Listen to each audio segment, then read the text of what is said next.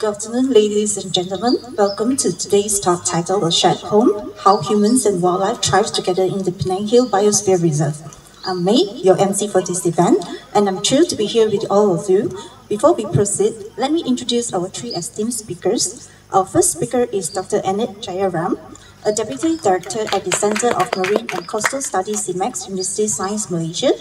Dr. Annette is a Penangite who completed her postgraduate degree in USM and is currently involved in the aquaculture research team, which focuses on edible marine invertebrate species based in the CEMACS USM. Her research team is working on nutrition requirements and behavior of the mantis shrimp, sea cucumbers, and mud crabs cultured in lab conditions. They are exploring the limitations and challenges of aquaculture to address food security issues. Alongside research, the team at CEMACS is very passionate on bringing environmental awareness to the public through outreach and education, especially on the threats of marine plastic pollution. Our second speaker is Dr. Ooi Im Hin, a research officer at the Penang Botanic Gardens Department. Dr. Ooi is interested in tropical understory plants, especially aroids and gingers, his past research has led to the discovery of a new genera in Araceae and several species in Zingiberaceae. A genus Ooia in Araceae was named after his surname to honor him. With a botanical research background on plant taxonomy, phylogenetics, floral biology, and plant pollinator interactions, he has been contributing to the effort of reviving Penang Botanic Gardens as a truly functioning botanic garden since 2017.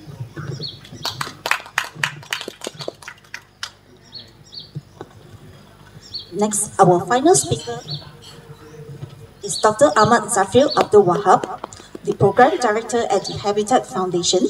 Dr. Ahmad Zafir is a wildlife conservationist with extensive experience working on the conservation of large mammals, including tigers, elephants, and rhinos. He has been involved in conducting wildlife surveys, patrolling and enforcement work in Malaysian jungles, and is also a passionate communicator. Within Penang Hill Biosphere Reserve, he has been involved in research on the endemic species that are found here. And also our moderator for the day, Dr. Yang Kok Lee, who is the Senior Project Officer for the Biosphere Reserve Management Unit of Penang Hill Corporation. Please give them a warm welcome. Thank you. Without further ado, let us welcome our first speaker, Dr. Annette Jaya Ram, to present.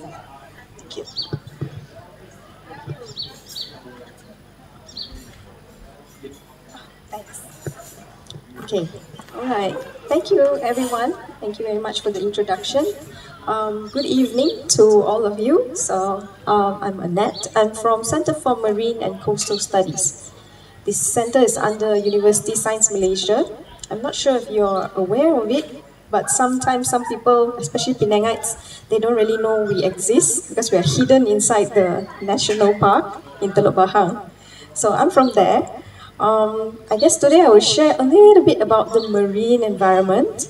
Um, we are all very familiar with very beautiful sceneries when you think about the sea, um, beautiful sunsets. So sometimes I myself wonder, do we think about what is below, what is under, what's beneath the waves? So that's pretty much what I want to share with everyone today. And looking at our country, we're actually surrounded by the sea. So Malaysia is a maritime nation, and most of the times when we talk about conservation, people always think about the land. Somehow, maybe this is a personal opinion, but we kind of forgot about our aquatic um, environment, right? So the sea and also the rivers sometimes gets left behind a little bit. So since we're talking about the Penang Hill Biosphere Reserve, so this is the, the map, right? So the total area is 12,000 hectares and the inland area is about 7,000 hectares. And part of it also covers the marine. So the marine area takes up about 41.6% of the Penang Hill Biosphere Reserve. So this is a view overlooking the area. Um, you can see some of our aquaculture sites. So there are, of course, human interactions um, with the nature, right? So like it or not, somehow there is going to be interactions. Positive or negative is a different thing. So we rely a lot on the marine area. So mainly it looks like we are looking at our economy. So we get our fisheries. Of course, our food comes a lot from the sea. Um, tourism, and then we have farming. So there's aquaculture. And then, of course, one of the main functions is it is life, all right? So it's placed for different types of animals, different types um, of life forms, which actually rely on the marine area. So another thing that um, maybe we didn't learn in school, I'm not sure if they're doing it right now, but when I was in school, we were always told oxygen comes from the trees, right? So actually we also get oxygen from the life from the sea. There are microalgae, they are pro producing oxygen for us to breathe. So not too sure if school syllabus have been updated now, um, but oxygen doesn't just come from the trees, but we also rely on algae. Um, of course, tourism and recreation, so many activities. So we are really very, very reliant on the sea. And also, I would say we hmm, depend a lot, right? So it's a two-way kind of thing. So today I wanted to share something a bit different. Maybe you will not really think much about it. But this is a photo of my student. He's staring inside the pond. So when I asked him, what is he doing? You know, he just sitting there and looking inside the pond. So you can see the pond is green, very green. So actually this guy studies algae. So he wants to just have a look what kind of different things he can see. Of course, you can't just see when you look like that. You will need the help of microscopes, right? So just now, Dr. Ahmad was saying that he totally hates lab work, doesn't want to look inside the microscope, um, but it is essential, right? So if you're going to take a bit of that green colored water, put it inside the slides and look under the microscope, you will see a lot of things, right? So you will see many types of organisms inside the water. So some of them are really beautiful, all right? Different shapes, different sizes, and um, different functions. So basically, we have many types of life forms that we don't really see. So I just want to highlight, sometimes we forget the things that we can't really see but they are there, just below the surface. And they are all functional and they have their own role, what they have to, you know, um, uh, um, they are all playing their part. So just to give you an idea what it looks like under the microscope, so this is one of the species, so you can see them going around. So these are not animals, so they are basically plants. So they are single cell uh, life. So they are just moving around. So this is what you see, and this is what Dr. Ahmad hates.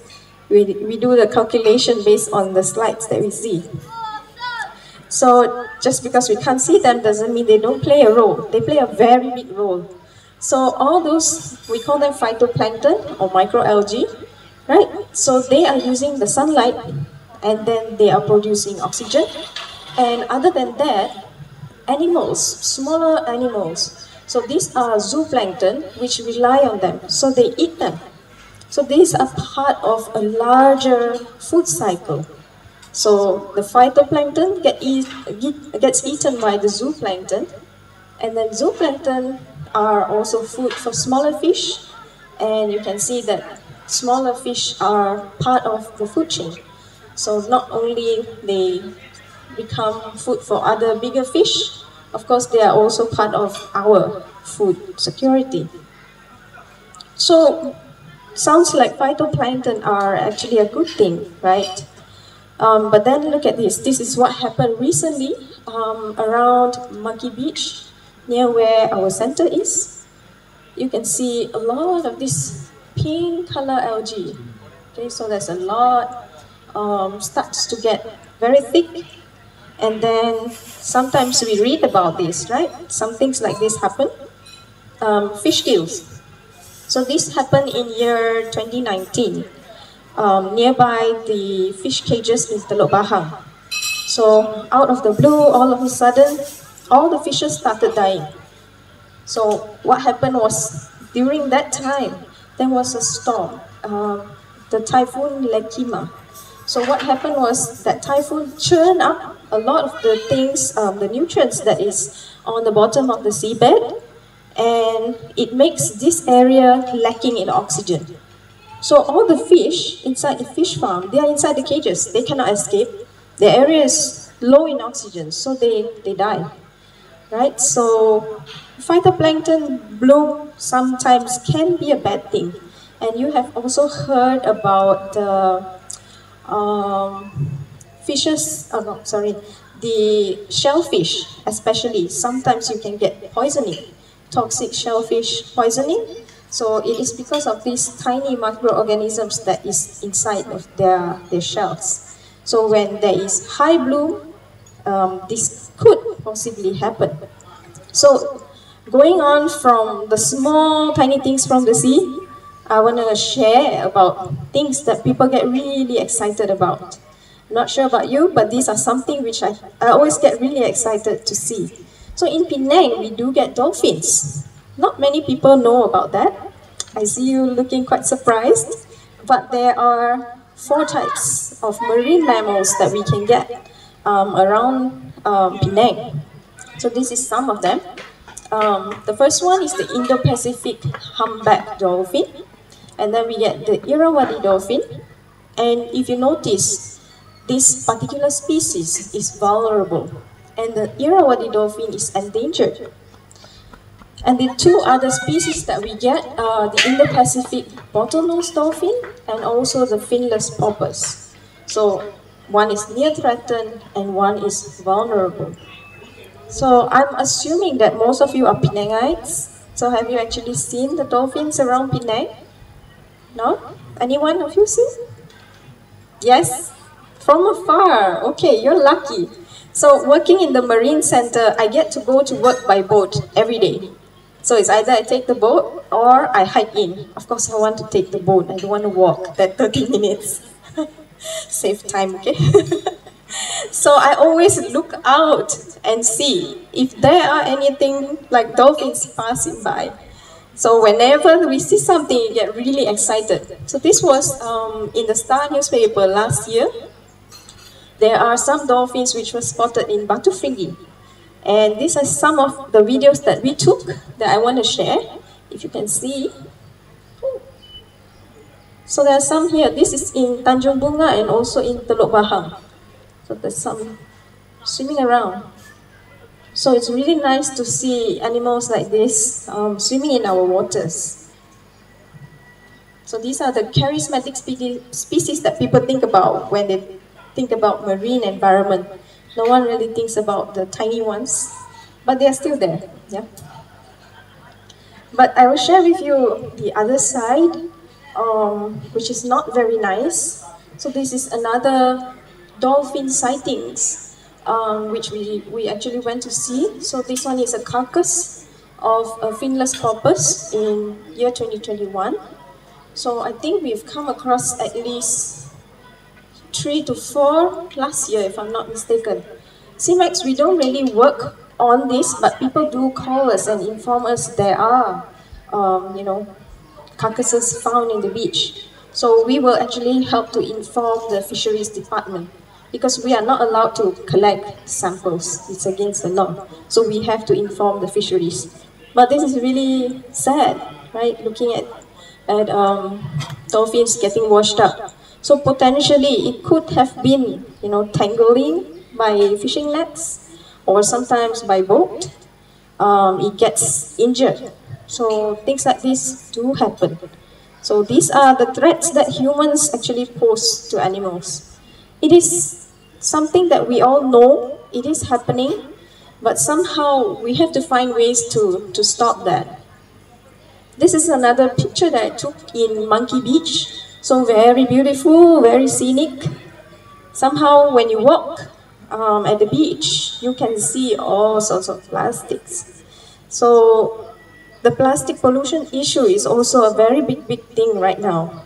So plastic was invented for a good cause previously, right? I think it was in 1948 or 1950s.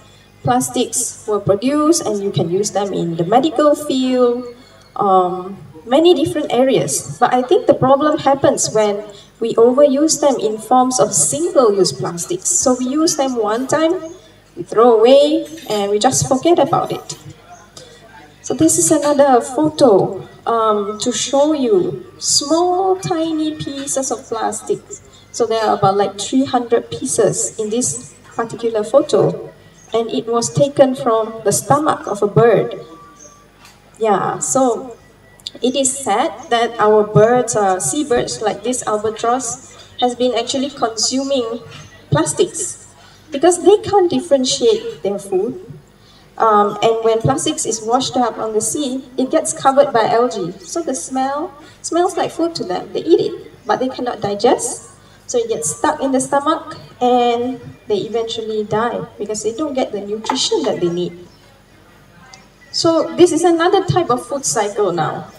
So there's plastics. So plastics gets broken down. All the big plastics that throw we throw away, it gets broken down, and these are a new thing, microplastics. We can't see them, but they exist. So there are many research going on um, about plastics in our marine environment. So what happens? Remember the plankton that I talked about just now? They actually consume those microplastics, and it's within their food system. And then the fish eats them and comes back to us. So I don't know how much plastic is in my own tummy at the moment, but I'm sure there are.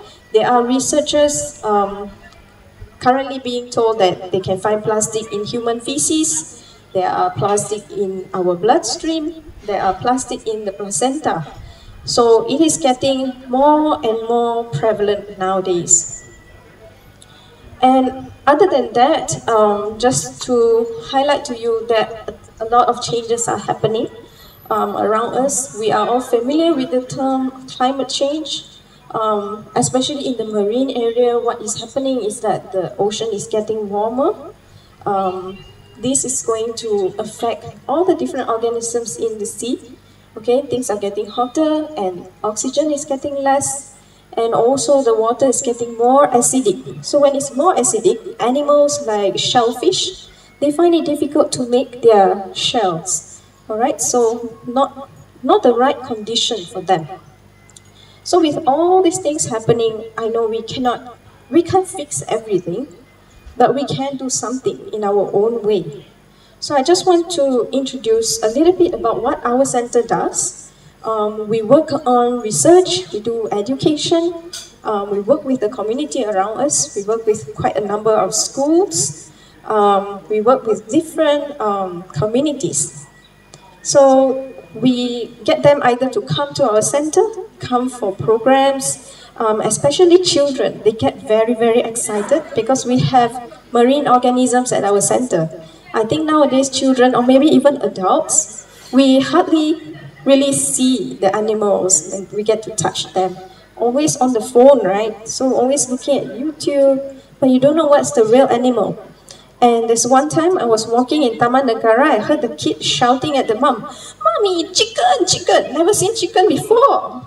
So this is something we, it's not in our mind, but for me it's like, wow, it's a reflection. When I was growing up, this is normal, but now it's not. So very, very different. Yeah, so these are some of the schools that we work with. We did some workshops, um, all just to create more awareness. Um, and we also work with the public. We call it the Citizen Scientist Program. So there are three different programs that we do. And the other that is coming up soon, somewhere in September, is the International Coastal Cleanup Day. So what we do is we actually organize beach cleanups Besides that, we teach people how to do it themselves. So we run this for an entire month. Because of the pandemic, we have to be creative. Before this, we just did the beach cleanup activities, um, teaching people how to collect data. Not only collect rubbish, but also collect data.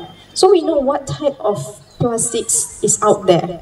So during pandemic, we also found masks, we, saw, we found gloves, so many different things. And one of the major things we found is cigarette butts. So if you didn't know, cigarette butts do contain some filaments of plastic inside. So they will break down into microplastics eventually.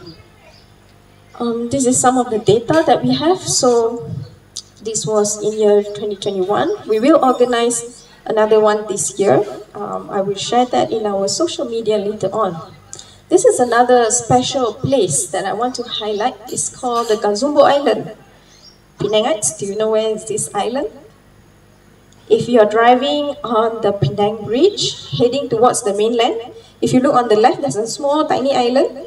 So this is called Gazumbo Island. So CEMACS, we actually run some research over there, and it's full of many different marine life forms. And this is called the middle bank. Okay, so beyond the Gazumbo Island, there is a patch of seagrass bed.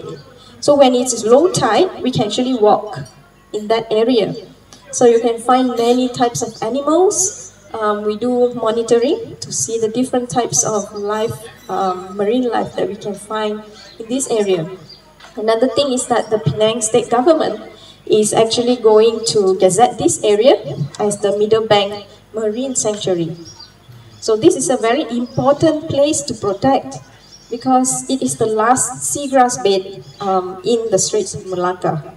So a lot of life and also even humans, a lot, a lot of fishermen go to that area, catch fish and things like that. So this place is very important. But to show you something that you cannot see from the Penang Bridge, when you get to that island, the Gazumbo Island, it's full of trash, full of plastics.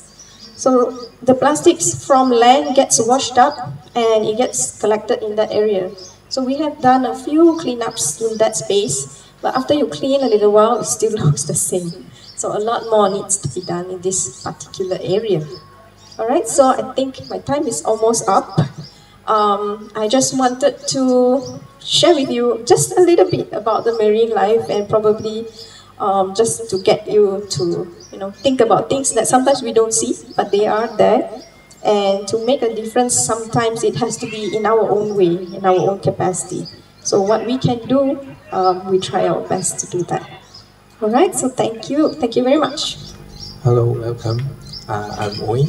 Uh, today I'm going to share a little bit on uh, activities and the function of our gardens. Maybe some of you may already know more about that because uh, it's not much different than from my previous one, but uh, this one was more to the activities as uh, request by the uh, organizer. Uh, you all, most of you may uh, not know that Penang as organizations is actually start much earlier than the uh, current Penang Gardens. So actually it start at uh, 1794. Then current one is from 1884, so this is this one. Previously, uh, when British was first here, they most uh, concerned about economic important plant. What are the plants that they can plant here, they can bring here to grow and then to use for the human?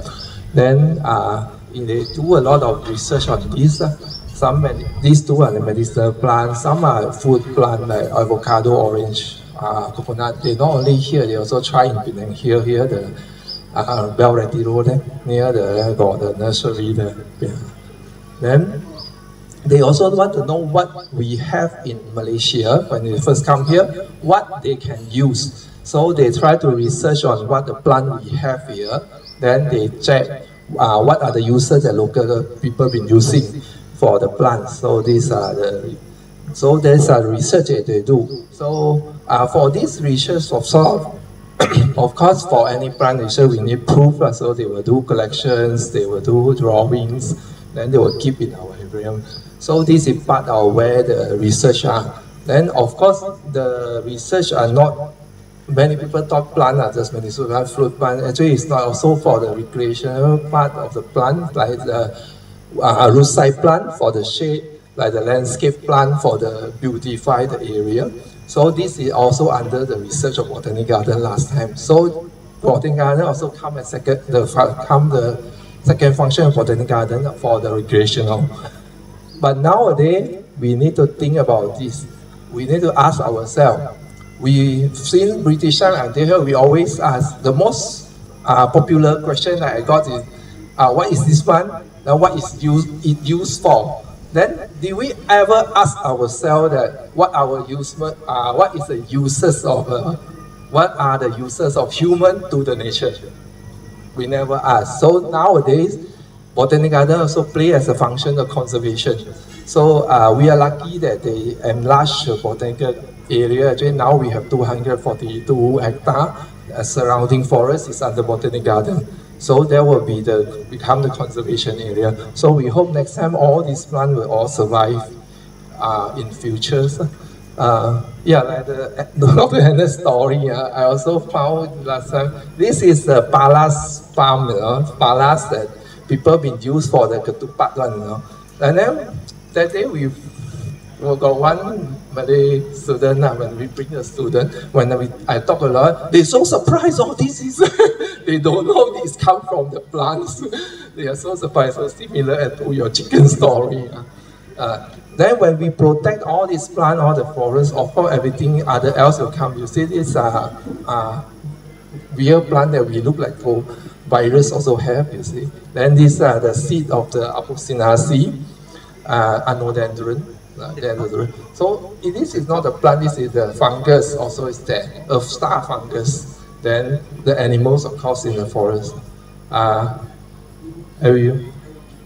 Okay, also I will food friend sometime come in. So I hope these are the things that when we conserve the area, so hold all the wildlife there will be conserved as well. Then uh, here comes the sport function, like I say, the students are so, nowadays the generation are so detached from the nature, you know, our humans are so detached from nature. So Botanic Garden for function currently is uh, for education. So it's uh, for connect back people to the nature. So we are indirectly with the labor or directly we do the activities with the students. Uh, so these are the four main, main functions. That's why uh, then I go to a bit more detail to uh, what uh, I do lah in the garden for my part. Actually, um, our garden have many, many parts. So uh, many, many units. Uh. So actually, uh, I'm in here, the unit botany conservation, uh, botany and conservation. Then we have maintenance team, then about 66 people. Then the Bahaimakan, the admin part, about nearly 20. Then our part about 10, then the, this Alam Sekitar about uh, 3. So these are some of the ongoing activities. Uh, I did this now also. I, I won't go all uh, because too many. Uh, just some of it important. I will do that what British do 100 years ago to still keep our records of our plants. So this we make the specimens. Uh, we make specimens from plant. For example, this is a rare, rare uh, tree in uh, Malaysia. So this one is finally flowering that day. So we take a specimen record so people know ah, this is a, a plant we have. It's a, a lime, they call ghost lime. then this one is, uh, people always mistaken it for another two species. So I, we also make a specimen, so next time people can see uh, understand that. So this is for, uh, we also go to other places to do the record. So some other plant in the wild, in other forests, not, uh, not only in Penang, so we also take from, uh, so after taking back from the forest, of course, it's not you just leave it to die. No, no it, it, already died anyway. I mean, leave it to rot. La. So we have to do the management. So we need to curate it. So uh, we have three types of specimen, herbarium spirit. So this is why we need to keep the vouchers specimen safe. So this is not I'm talking like this guy talking, this editor talking. He, so I quote his sentence, so committed to the maintenance. That's one important. So we try to curate our specimen. So next time, hopefully, another hundred years, people still can see what are the plants we have. Then uh, like this, this is before, then after we try to uh, curate. Then sometimes the old drawing, you can see this August 1900. So already, already all broken, we have to puzzle back some more. So this one is after curated. we make it back. This is paper restoration. Of course, also for living plants. Living plants we get from the field, so outside. So uh, we try to grow in our nursery. Uh, these are some of the plants that we get from Penang here. Then this is from the Bukit Panchor Penang. Then this one is from Bukit Mertajam. So we try to grow back uh, the plant so then in future this plant will be safe with us. And then the records very important because we have all these records. So in case it's gone in the wild, we can put it back if can.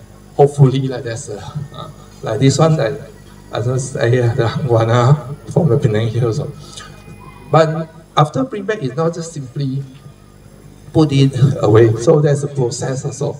Uh, we propagate it, we germinate it. Then there's also the maintenance involved in terms of the plant, in terms of the system, the facilities. So in this part, I need to touch about something that uh, sometimes people uh, like to take the plant from the wild and then go back, uh, and then because I I met some friends something they, they just pluck pluck pluck and then they say oh this is so cute they bring back. And then after that they just forgot about it and die. So you can don't just simply take the plant.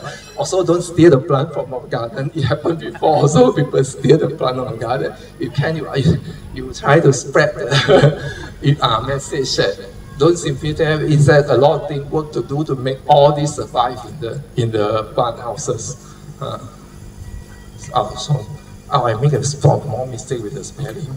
Then uh, eventually what the plant inside the garden, the tree, right, the tree and the plants, we try to check it back because previously they, their record cannot match back already. So we make a new record. This is our IC of the plant. Then uh, we check what each plant gives them IC, give them number, then we ID back and then uh, we keep the record nowadays.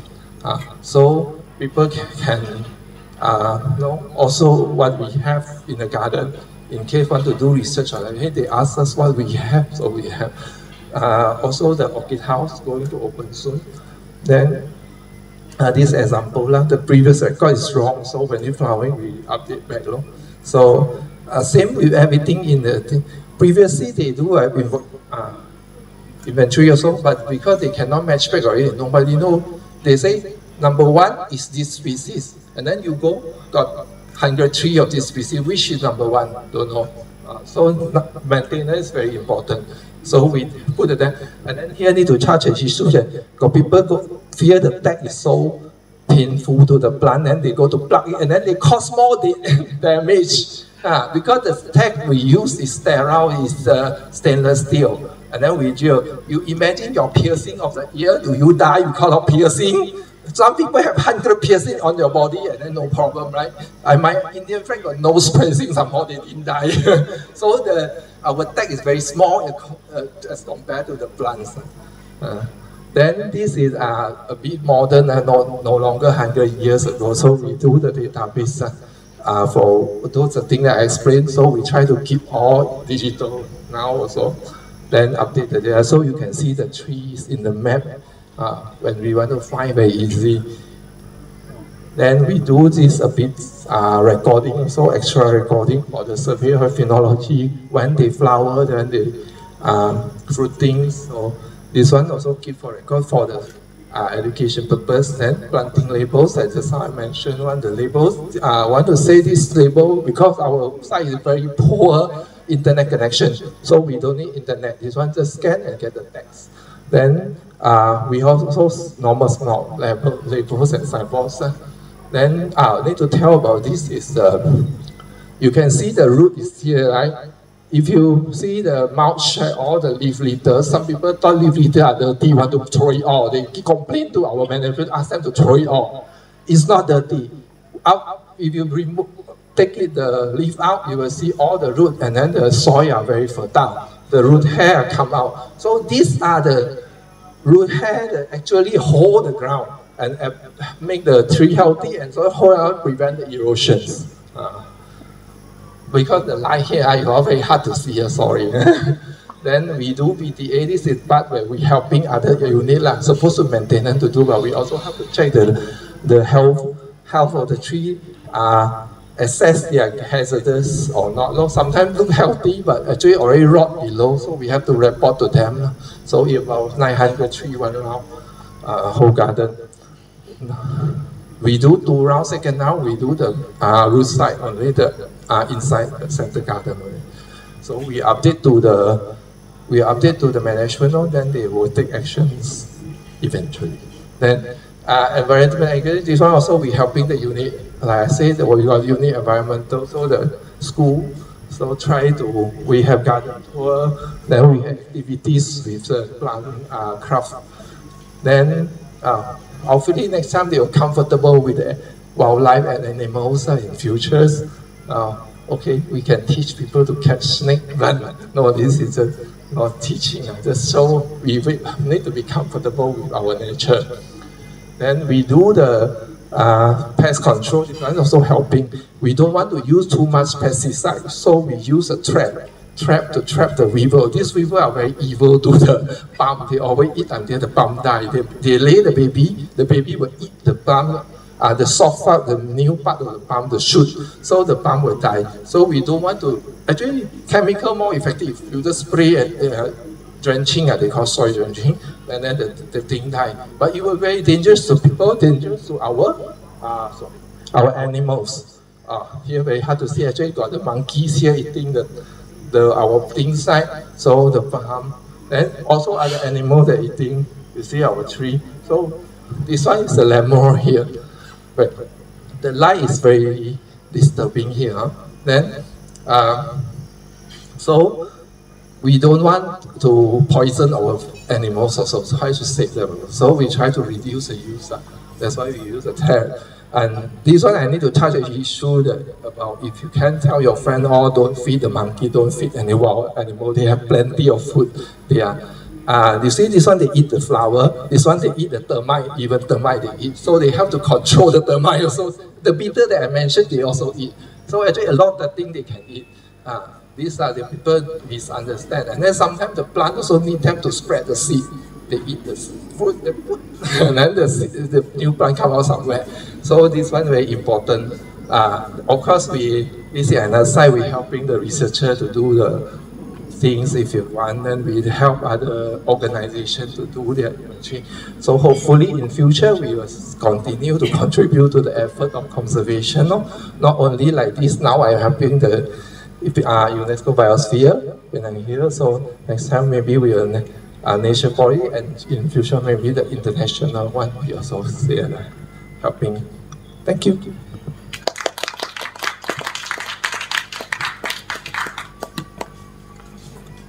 Thank you, Dr. Ooi. Next, finally, our last speaker, Dr. Ahmad Zafir Abdul Wahab.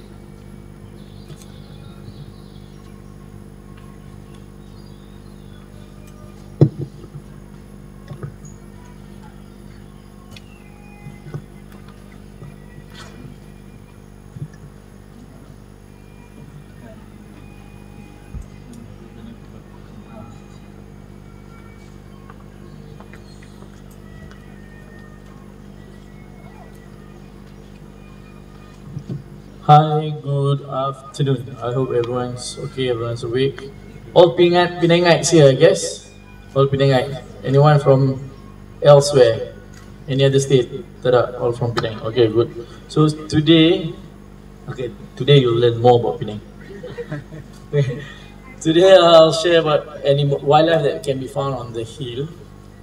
But not many of us, even though Penangites, we know the existence of this species but also some way to take care of this species lah. Eh, wait, wait. Alamak.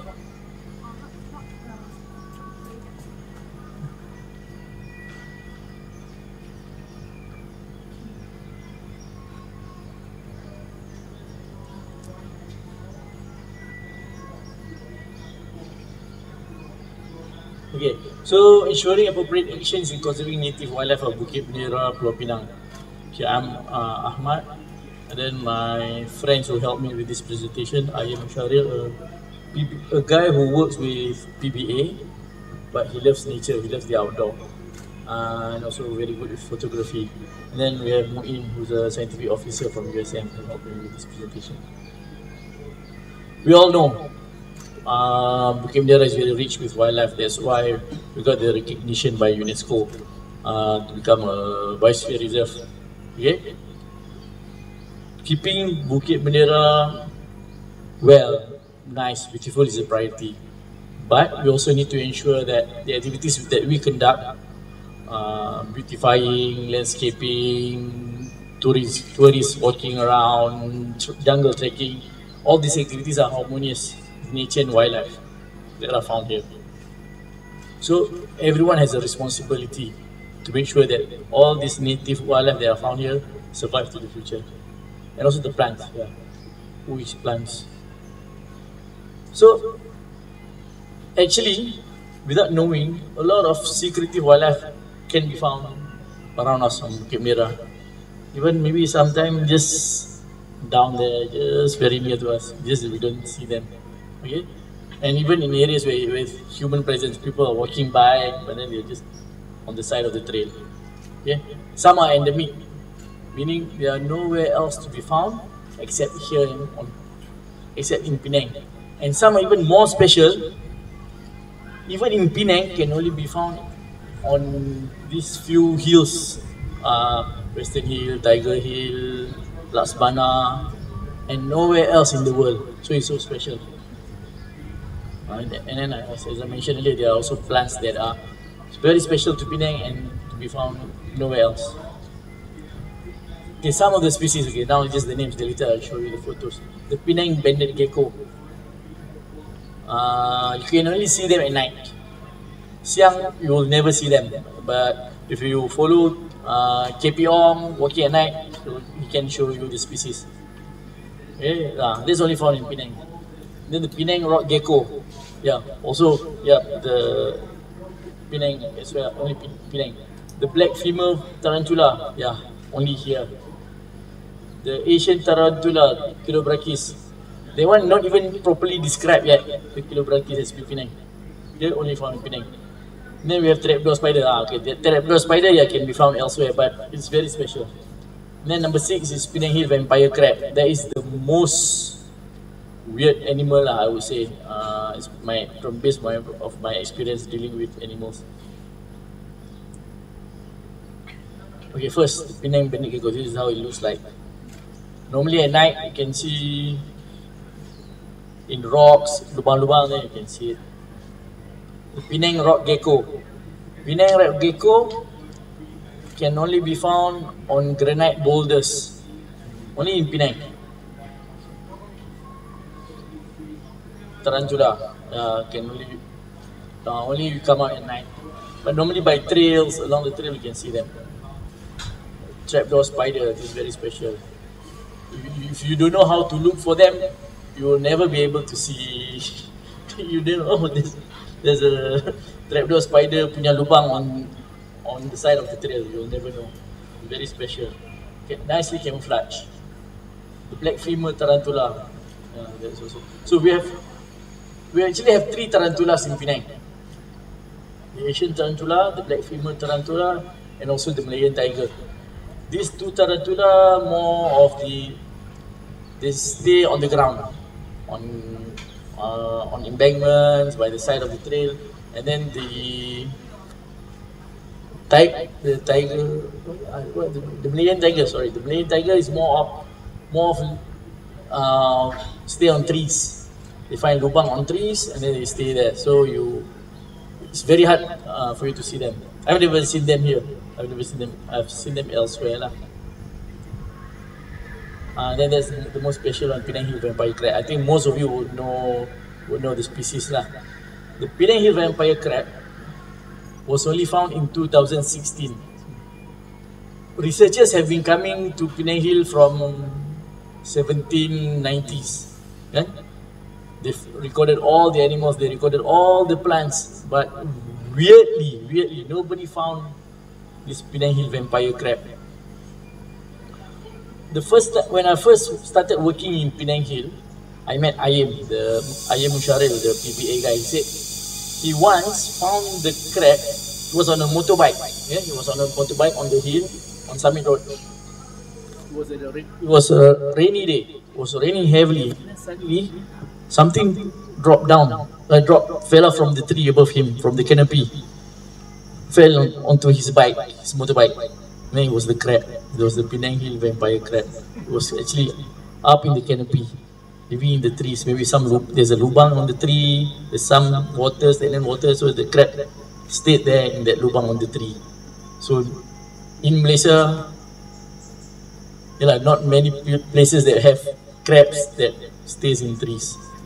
And they're also special because they can only be found 700 meters above sea level only. And now, when Dr. Annette talk about the world is getting warmer, kan? So for other animals, they can go find a maybe cooler place. But for things in Penang in Bukit Bendera, we, the higher, our highest elevate, our highest point is 835 meters. So if the temperature gets warmer, and this ketam, this small little ketam, where can they go? Nowhere. Because just the range is, and then how many hills uh, are found here above 700 meters? Not much. So if we don't take care of the environment, we don't take care of the greenhouse gases that we emit, we might, you know, when the temperature rises, uh, these species might be gone uh, along with the other species that are very limited, has very limited distribution.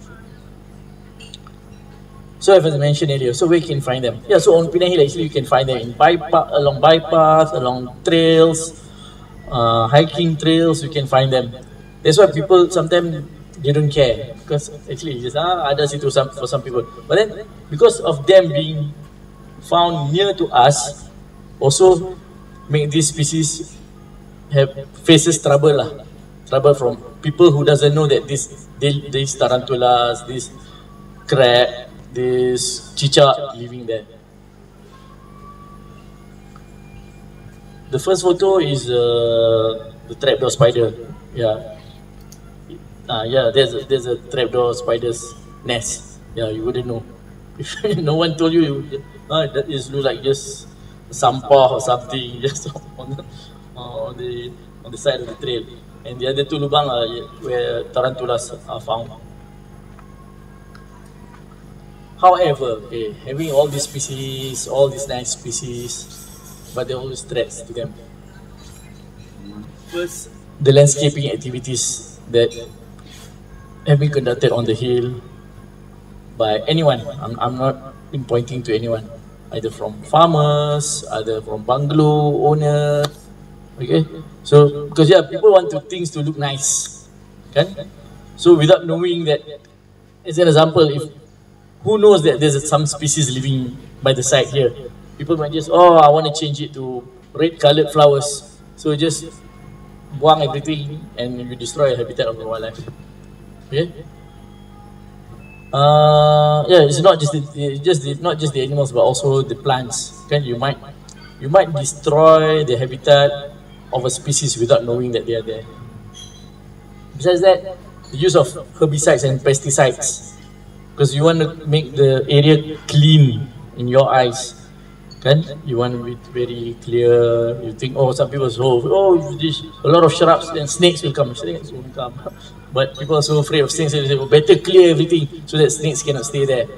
Uh, but that's that's not the case. Snakes are always more afraid of us than we are afraid of the snakes.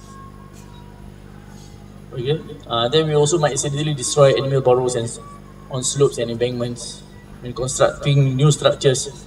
Make signboard, make new. Uh, we want to stop landslide, then just turn everything to cement slabs. Okay, and those are actually wildlife habitats. So some, these are some of the photos that can be found on the hill. What's happening? Yeah, people are using pesticide to clear to clear the shrubs. And then replacing clearing the vegetation to plant this non-native. I don't know we what's this, but non-native, right? Uh, non-native. So people clear this patch, and this area is normally where the tarantulas, the trapdoor spiders, and sometimes where the banded gecko are found as well. Same here, the uh, creeping charlie, creeping charlie, purple uh, just the, a, a lot of besides landscaping and construction, the native wildlife of Bukit Bendera are also threatened by poaching. Yeah, people come and poach the tarantulas. They have been recorded in 2019. So I got a report, so I went there. Then some people along bypass, I can't remember which bypass, but they correct the whole tarantula nest. Uh, because there's a high demand uh, overseas. Uh, research, we have a student who's doing research. He found this in German. Our tarantula being sold in German. Uh, oh, Malaysia, everyone, everybody wants Malaysia, things from Malaysia, not just durian. Even tar our tarantula also they want to bring out. During MCO, bird poachers also come up to the hill uh, to poach for the White-rumped Shama, Murai Batu, one that sings very nice. Uh, they come and uh, nah, they don't use the train lah. They come from the back. Ah, this is very recent, 2023, just two months ago.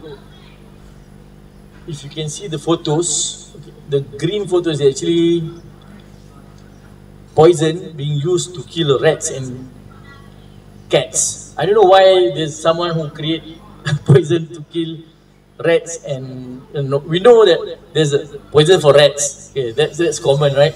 But this one on the packaging has a photo of a rat and also a cat. And this guy is a farm. Okay, this was found near a farm around the hill.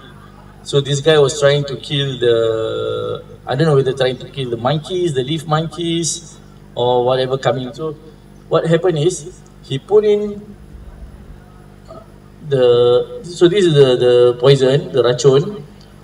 He's, and then this these are some this banana and chiku. Uh, he put some on the logs, and also he put some in the plastic bag and hang it on the rotan in his area. So what happened would be Okay, if he want to kill some, I don't know, he shouldn't be killing lah. First, okay, if you have any problem, should report to wildlife department to perhilitan. Okay. But what happened is, this method, you may kill any, animal that come and eat that food. So what would be eating that? You can kill the slow loris, you can kill the macaques, you can kill the civets. Whatever animal that come and eat these fruits, uh, pisang of course, all the animals will love pisang and chiku, nice and sweet. So what do we have to do? If we are a business owner, if you are managing the hill, if we are we have a bungalow on the hill, we need to make sure that landscaping activities do not adversely impact wildlife and not, do not destroy the habitats they are found within our premise. Okay? And we need to consider phasing out the use of pesticides and herbicides in whatever you do. And at the Habitat Foundation, we are ready to conduct, train, conduct training for anyone interested to know businesses or corporation, if you're interested to know how do you make sure that all these species survive on the hill? How do you make sure that the contractors, the the grass cutter, the, the, the Bangladeshi guy that you employ to, to clear, to cut down the grass, to clear the shrubs, know how to differentiate this the sites that he she should not touch or, he, or should not be left just like that. Okay. And then, yeah, if you any of you see any illegal activities, poaching, hunting, people stealing plants or wildlife, do report to the Penang Hill Corporation. Okay, thank you. That's all from me. Thank you, Dr. Ahmad. Now that we have heard from all our distinguished speakers, we will have an open discussion session now. Feel free to ask questions and share your thoughts. I'll pass the floor to Dr. Yang. Hi, okay. So I'm Dr. Yang. I'm actually uh, in charge of the Penang Biosphere Reserve. So after listening to all three speakers who are expert in their field, any questions? Except me, it's uh, from from uh, foreign state. I think all of you here are Penangites, right? so okay, uh, we have the first question. I have two questions. Um, I'm Uncle Paul. People call me Uncle Paul. So first question, I can't remember the name. Maybe to Dr. Red. So about 20 years ago, I attended a seminar, something to do with the coast. We have a visit to your beach here, the office and the beach. The time one of your lecturer or professor you culture a lot of high value uh, cell food, cell, abalone and uh, mutiara and so on. But now you cannot see anything there. Actually, I just want to know what happened. And they got the second question to to Umi. So we used to, I we used to I used to go and attend to see many botanic garden. Recently, I just came back from Singapore Botanic Garden. There's a World Heritage area. Of course, no comparison. lah. And I went to New Zealand, Auckland, uh, Hamilton, Christchurch, this one, Queenstown Garden also. Most of the garden have a pond here. People go there to relax, sit around. But Penang Botanic Garden don't have. But never, that one never mind. I'm not complaining. The only thing I just want to ask, every time, most of people go there for exercise. But when I go there, I don't, I don't go for exercise. Because I want to go exercise, I come to Penang Hill. Just walk up here. And I'm quite disappointed every time I want to go in some of your garden there, like Orchid Garden or Bromeliad Garden and all these cactus garden. We cannot go in. The only garden I can go in, thank you very much. The only garden I can go in is your fern garden, which the man always open at that time. So I hope they can manage those. We can go in and look at all these bromeliad and cactus and orchid garden and so on and many other gardens. You always lock it, I cannot understand. Thank you. I pass the mic to Dr. Ann. You Uncle Paul. Right. My name is Anne. So yes, thanks for the question. Our center actually has been there since 1978. Yeah, so it's like 45 years now. So we will mention about the research that we do 20 years ago. Yes, you are right. Oysters, um, abalone. Actually, we still have this research. Um, at that time, our current director, Dato Aileen, was a student there. She was working on these oysters. So the research for oysters is actually ongoing during that period. And it was, I would say, one of our success stories because the oyster research actually can be translated to the community. So from that research, she has managed to work with different communities in Malaysia and they start their own oyster farm. So 20, 30 years of studies, um, I think this is a good thing about science. It doesn't just stay in the research paper. Sometimes scientists inside the lab, you know, we do our field work, we just do everything, we send reports, and then that's that. We don't know what happens after that. But this particular research and more of the stuff that we're doing in CEMACS right now, we actually want to take it further. We want to work with the community. So this is how science can actually help, um, especially those lower income um, fishermen. Um, one of the example I can share with you is that now, instead of doing fishing, he is actually culturing these oysters.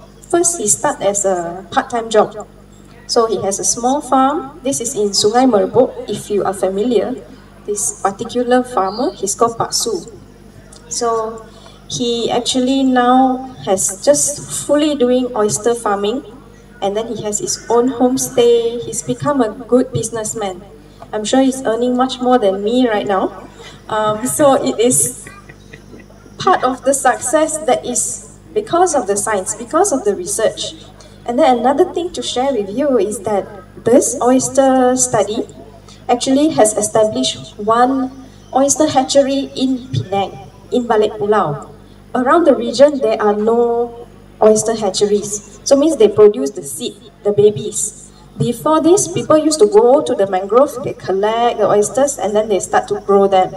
But now you can actually get the seeds from this hatchery, and then you can, you know, if you're going to do farming, you can actually start up your farm from these seeds, from that hatchery.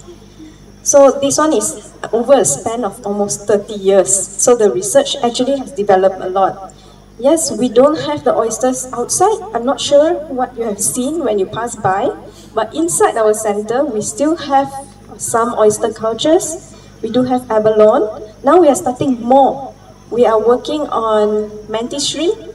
We work on mud crabs, and we work on gamat, the sea cucumber.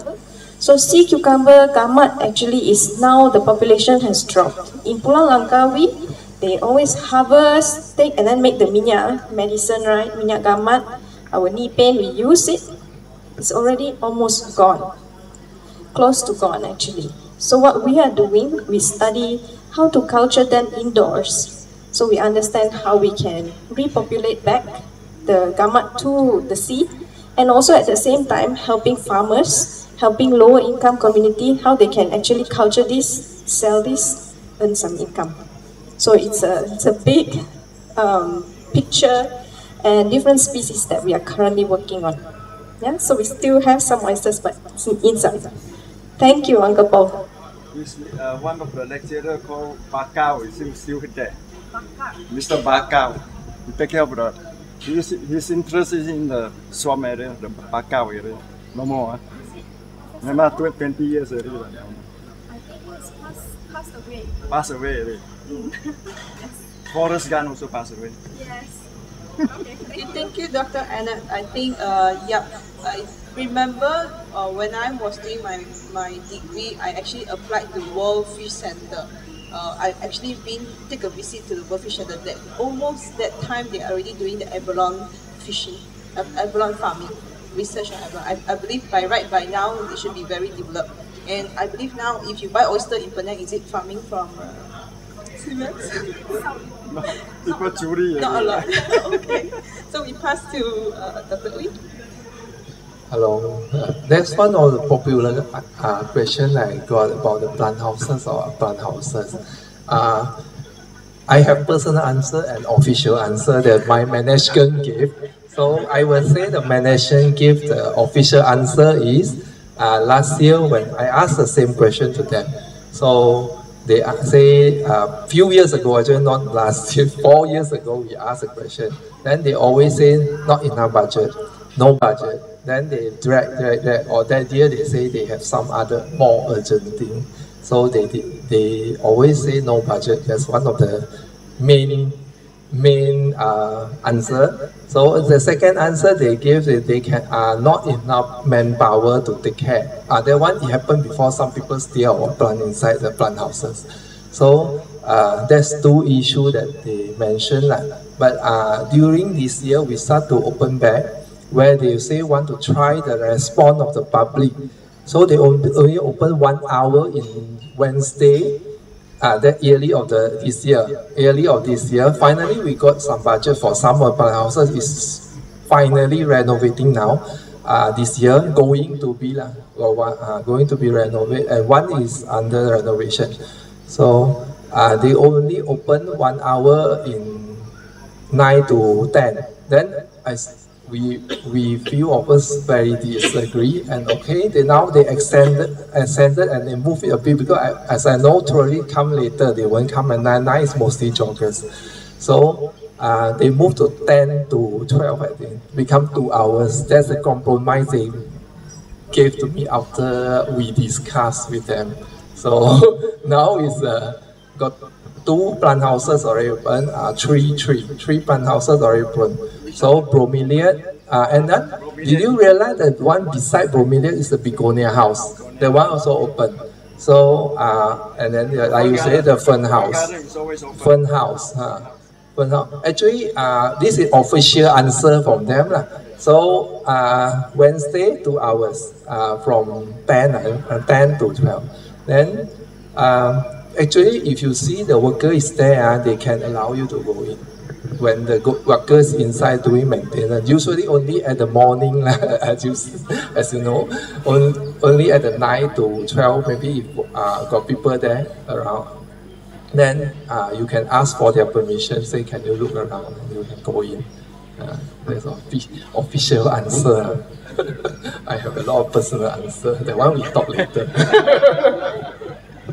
what I'm going to. Okay, so would it be a possible reasons that they, they do not allow uh, for a long time because people when they go visit they might uh, cause some damages?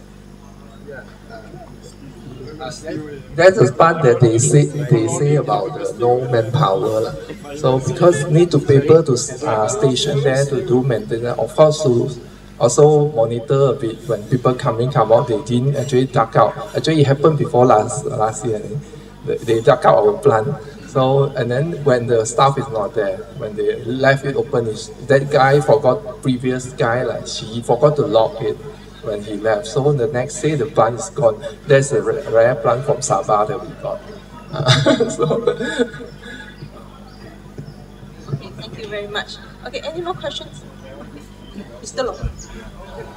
Dr. Ooi, on uh, this botanical garden, how about the orchidarium? Orchid, is it still operating? Looks quiet and closed most of the time.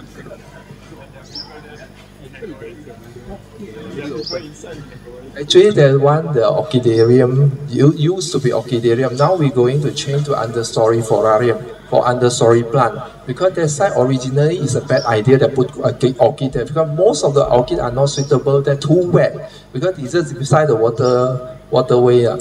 There's a uh, too wet for the most of the orchid. Some orchid can take, but not all. Uh, wet- I think less less than ten percent of orchid can take that condition. So now we have another orchid house. Uh, follow Dr. Saul's suggestion previously. So we uh, now have another orchid house. The cactus house used to be cactus house, and now going to be the orchid house. Actually, we already help and like just now I show like 200, uh, now actually we count 221. Uh, inside the inside part, the native orchid one, we already finished. We already helped to set up all the orchid, or 200, more than 200 orchid, very cute orchid there all. Uh, but the only thing that they need money to do is the in front part for hybrid orchid because not all are like us that enjoy enjoy the nature one. Some people like the hybrid one. So the front part they need some budget and then they drag it few years until now. This year finally they say they got budget. Let's see how it goes. uh, so House going to be the cactus house there because we already have sun rockery up there for succulent plant. So we don't need to repeat two. Then uh, the current orchidarium going to the understory. Just now the plant that I show you there, uh, some of the my slide is already planted inside. We already done the lower part. Upper part we haven't do because they promised to renovate the real the stair, right? And then also the ceiling, uh, the uh, roof there. So uh, this year they on the way doing is uh, the project is going on. They try to repair back because they, we need people to can go up to maintain the roof, and then the real is as people uh, complain that dangerous to the public because the real don't have the uh, the walkway lah, the walkway go up, the stair is uh, is dangerous, so they have to redo some of it. But lower part actually we already set up, but unfortunately the maintenance why I think they still need to upgrade a bit okay, uh, so that's the current plan. Thank you, Doctor. Yeah. Mr. Rex. Hi, uh, I'm Rexy. Uh, by the way, I'm wearing a Habitat shirt, but I'm not a Habitat staff. I was a previous uh, research grantee. So actually, I found uh, some of the things we said, and I think Dr. Zafir also elaborated a bit more, especially in terms of landscaping. You know, uh, when it comes to usage of pesticides and also the kind of plants they actually plant. And I'm glad to hear that now Habitat or Habitat Foundation is willing to do the trainings uh, in order to train these people who are doing all the general cleaning and landscaping uh, in order to make them aware that uh, biodiversity exists in these areas. But I'm just wondering, one of the things that things like spiders and also I think all the more for endemic plants is like these are sitting duck targets, meaning that if they are there, they are there. And I reckon with spiders also, if they have a burrow there, they are there.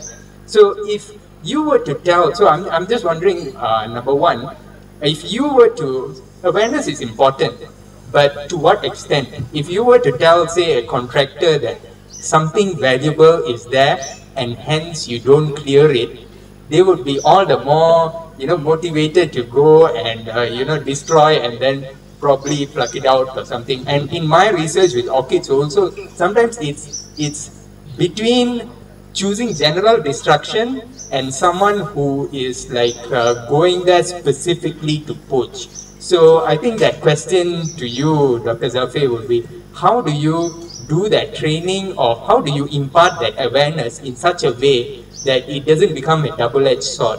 Then the second question is, I think since Dr. Yang, you are here as the moderator, uh, now that uh, Dr. Zafir, Dr. Ooi to a certain extent has also explained how important uh, biodiversity, and I wouldn't say this is biodiversity in the forest, this is semi-forested areas where you have some landscape, some jungle, so you can't say it's uh, Hill Dipterocarp forest. It's biodiversity which exists side by side with us. So now that uh, uh, uh, PHC and uh, uh, as PHB are in your position within PHBR, you are aware. What is Uh, your office going to do in order to incorporate that within your landscape guidelines and also whoever the contractors who are coming? how are you going to train them so that they are competent to do landscaping for biosphere research? Yeah.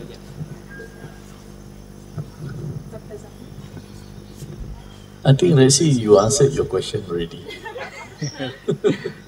okay. So, yes, I can't be working with the contractors straight, but more of working with the Penang Hill Corporation because we know that PHC will be telling the contractors where needed grass cutting, where needed to do landscaping, where needed to be cemented, cleared, taken out the soil and everything, right? They're the, they're the boss. I think it's more of telling PHC where are the no-go areas, which are the areas that should just let the grass grow, should just let the shrubs do on the, the natural stuff, uh, and which rock don't move. Uh, and then PHC will have, I think, a proper guideline by PHC will be will be great. Uh, in identifying yeah the go and no go areas. Because as you know just around here near where the most people are on Penang Hill there are spiders there are tarantulas already. Yeah and it is very sad sometimes when I come in the morning right going up and then suddenly saw the the, the spraying the herbicides or pesticides I don't know what they're spraying then alamak they what there's a barrow there kan so it's good. Yeah. So first, I think the zoning, PHC should do it, and then to phase out the use of herbicides and pesticides. I think that will really help. Uh, similar thing happened in our garden. We seen a small time until now. We give on stress to the workers that we, like same as your position. Like I show, we are different units, so I have to go through the process and there.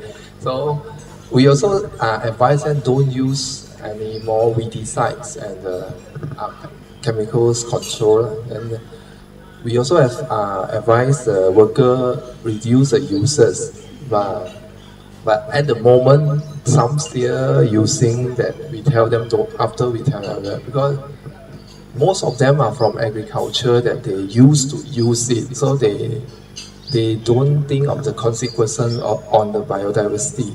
So this one is the thing that I still fighting for and then I stress few times in the meeting. Currently slightly reduced because I show them the directly show the boss the plant die, you see.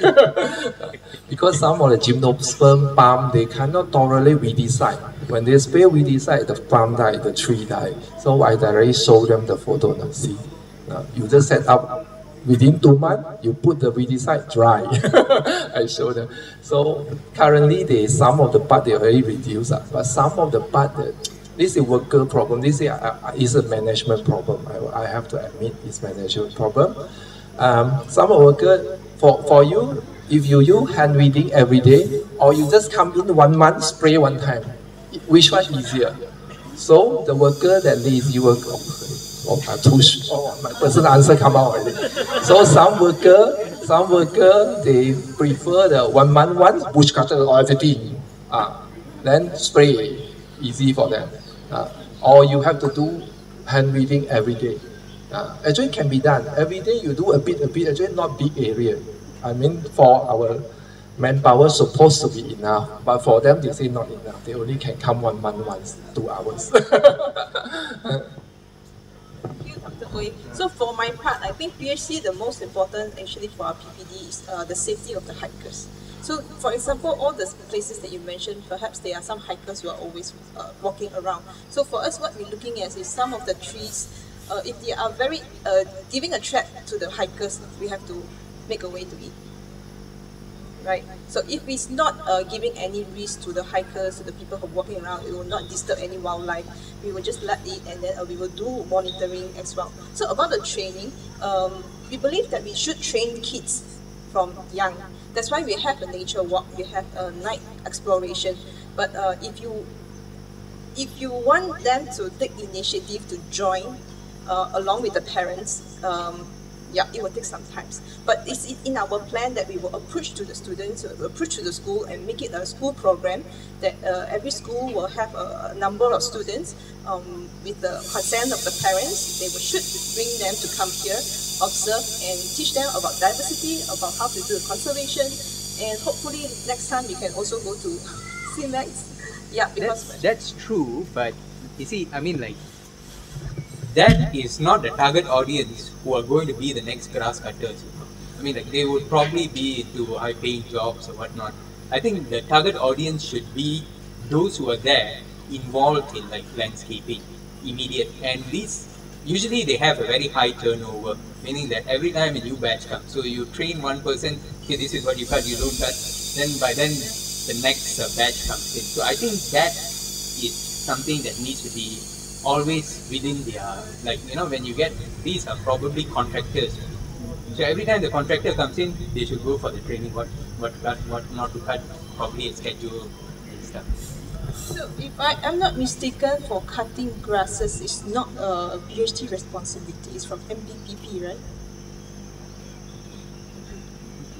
okay, uh, my name is Donna, Dr. Donna. Okay, may I add something? Maybe we can have a set of proper guidelines in order to do the maintenance, landscaping, yeah, implant. We, we might have a proper guidelines regarding yeah, regarding that.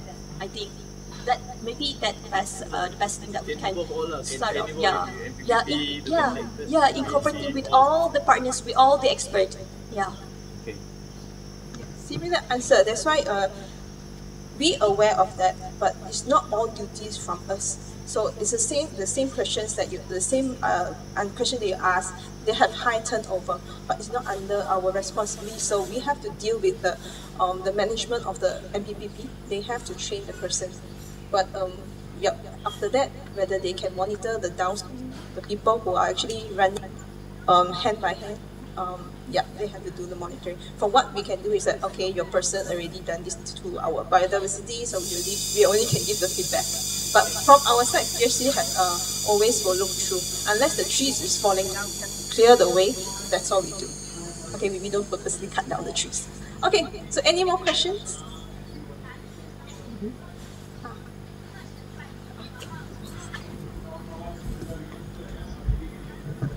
Uh, thank you. My name is Tony. I would like to ask uh, Dr. Anne a question, also Dr. Uh, Ahmad, uh, Dr. Ahmad a question. Uh, Dr. Anne's question is that uh, uh, I don't know whether for not not for Penang State, but for Penang Hill per se, uh, is there a template or is there a precedence elsewhere, anywhere in the world, where we can have a plastic-free environment? Now, the reason I say that is because I was in Ladakh in Kashmir and Jammu state for one month for hiking, and I'm so glad to say that I've never seen a single plastic bag for the whole month there. Okay, everything is uh, those uh, those environment friendly bags. That's that's one question to Dr. Anne. So whether there's a template or whether it's something that we can do, not for the state, but specifically for Penang Hill. Okay? It's a small hill, it's not a big area. Uh, for uh, Dr. Ahmad, maybe something uh, simpler is how many species of crabs actually on Penang Hill? Uh?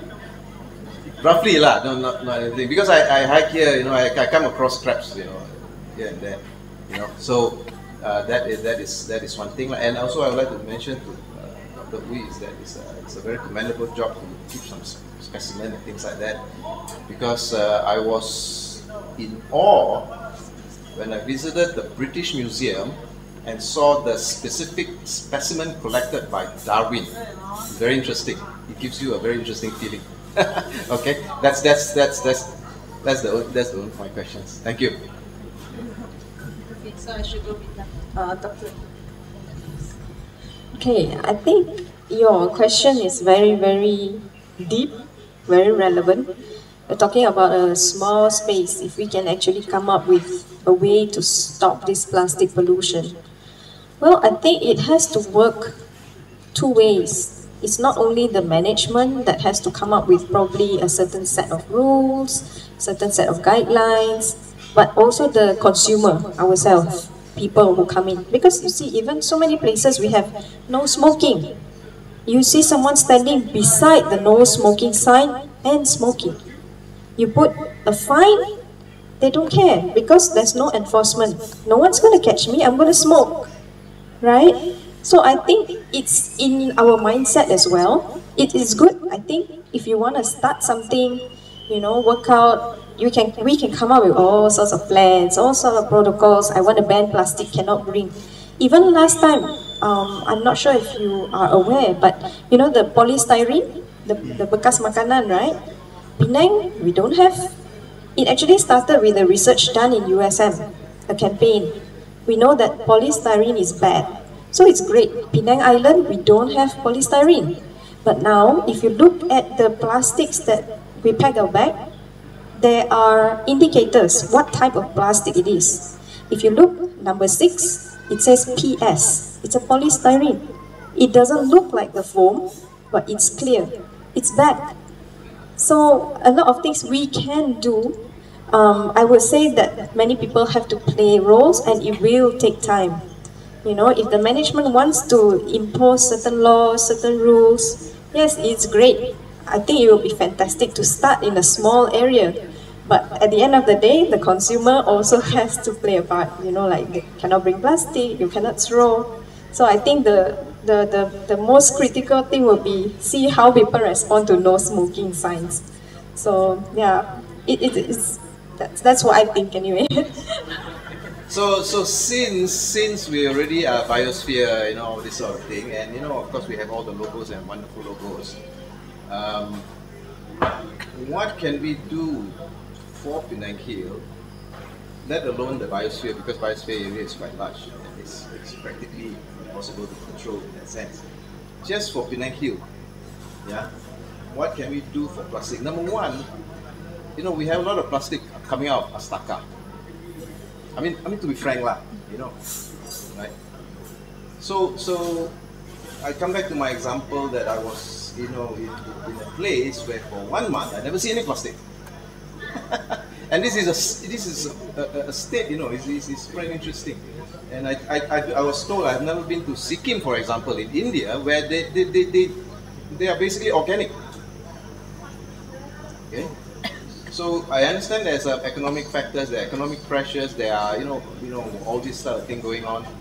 Uh, but what can we do just for you know? I mean, it's a relatively small area, right?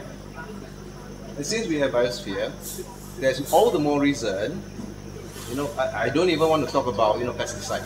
That's another another thing about plastic.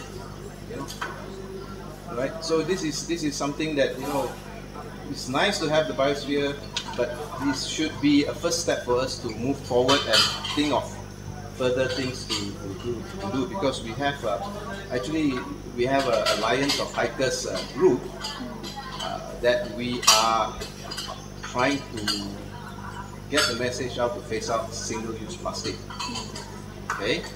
In fact, uh, I think if I did with KP in 2020 before COVID hit, where we did a cleanup with one of the hikers group on a small stretch of uh, track, okay, and uh, I can say that we issue a notice that there will not be any single-use plastic bottles, okay. and we clean up everything, and then we have a big bottle to refill all the water bottles for all the people who participated. But uh, if you ask KP, he would tell you that he actually got a scolding for not providing water for the for the, for the volunteers. so so I will leave it at that. Okay, but I think the message seems to come across that you know you know. And, and another thing I want to mention about plastic is t-shirts. Okay, so some to me last year it was quite a contradictory to have a trash-free event, and yet we had something like over a thousand t-shirts, you know. Okay? So in front of Dato, in front of you know, a sea of blue, I just refused to wear the t-shirt. Okay? So this year I think they cancelled the t-shirt. Okay? So what can we do to push this agenda forward in terms of getting rid of some amount of plastic. We are not idealistic to you know get rid of everything, but some amount of significant controllable source of plastic. For example, coming out of Astaka. Okay. I'm not against any business or whatever, but you know we have to be viable. Yes, I understand, but we have to think of this aspect as well. Thank you. Okay, thank you. So, any more to answer? Okay, so about the plastic, um, I believe I agree to Dr. Anna. Mentality from young is very important. The thing is, uh, people use plastic as a convenience. Cheap, of course, is one of the, the main factors. Uh, as a business runner, taking the plastic cheap, fast is the easiest way. But for us, if you want to promote plastic, you go for biodegradable plastic, which a little bit costly, does it sound uh, environmental friendly? Not at all, because bio, uh, biodegradable plastic is also causing microplastic. So it's not a, a, good way. So another thing, then you move to paper. People say paper not environmental friendly. Even you use tissue, people say not environmental friendly. So if, before we can come up with any way to stop totally from using plastic, we need to give them a way of using plastic. Okay, um, maybe we can promote people to bring your container, but we are tourist site, we, we have people from all over the countries. So they are not aware that, oh, then you need to bring container to go and eat. So we can't do that.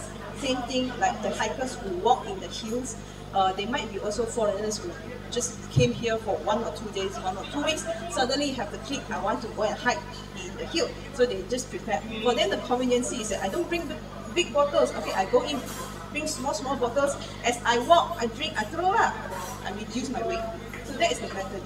So all this somehow, sometimes is a reason, but it's the fact that we cannot change. But for us, for Penang, we can only uh, guide our students, guide from young what you can do, give them a mentality. I, I think what I'm talking about is, for example, the source of plastic coming out from Astaka. Yeah, Astaka. Just simple. Okay. Really, just a simple thing. Yes, I think that um, what you have mentioned is really true. Maybe an example, like if you know Hin Bus Depot, they have a market there every Sunday. I think they are doing quite a good job of eliminating single-use plastics. So it's like, it's a matter of maybe the top management, do you want to do it or not? Sometimes people at the bottom, we, we have a lot of ideas. We talk about it, we want to do something, but when it goes up, sometimes it just gets shut down. It may be budget, it may be, you know, all sorts of things, but it is not impossible. So I think people like yourself, you come up with, you know, you've seen things outside. So we have to, I think, talk about it, bring it to higher management, try to convince them, I guess. So like Hin Bus Depot, they can do it. They don't give you plastics. They use paper bags, um, paper boxes, no forks. They use the, the wooden one. So it's just a small space. But I think it's all in the management and how they want to run, what you want to do. So if we really think, if we put our hearts to it, we can actually achieve. Yeah, with the support of everyone, different um, stakeholders. Yeah, thank you. Thank you very much. Uh, okay, so I think we already almost the time. So shall we close the session? Yes, yes, one short answer. Uh, quick answer. Uh, the crab. Yes, please. On Penang Hill, we have three different species of crabs, and all are endemic. Nowhere else to be found but in Penang only. Uh, one is the big one. Uh, now I forget the scientific name. It's a big one lah. It's can it, ah Stoliczia. ah Stoliczia. Okay, so this is the big the biggest one. It's around four to five cm the adult. It stays in the bigger streams and bigger the rivers and also waterfall. But during cool weather like this, they can come out on land. We, we have recorded in our park, the habitat, uh, people have seen it at Bellevue as well. They, for any time, yeah, they'll be walking, uh, coming up from the streams. And then number two is Geosesarma penangensis. There's no common name. Uh, it's more, it lives in lubang-lubang by small streams. Uh, you, you can find them. Brown color. Uh, just, just very small. Uh, 3 cm adult. Uh, then the third one is the Geosesarma faustum lah. They can only be found 700 meters and above. In stagnant waters of plants like bromeliad, uh, ferns, aroids, clady and all that. And anything that collects water. Uh, so those three. There's one with a very sharp Oh, like got a shell come across it. This must be the Stoliczia lah, the big one. No way ah. Uh, That's. Yeah. Stream crab lah, stream. That's basically three lah. Uh, yes. Thank you. Uh, Okay, thank you everyone. So if there's no more question, I think uh, today we can end the session. Thank you very much everybody and thank you for our uh, three speakers. And before they leave, we will give them a token of appreciation.